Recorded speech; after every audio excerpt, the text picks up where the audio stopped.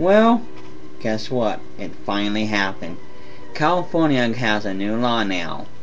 You can't be driving while talking on your phone when your phone's up to your ear. You can get a ticket. The first offense is $20 fine. The second, I don't know, but uh, up goes up to over a hundred dollars. So, um, well, drive safe and everything, and minors under 18 cannot drive with a phone, headset, or anything. Minors under 18 cannot drive with a headset even on. But if you're over 18, you can drive with your headset on.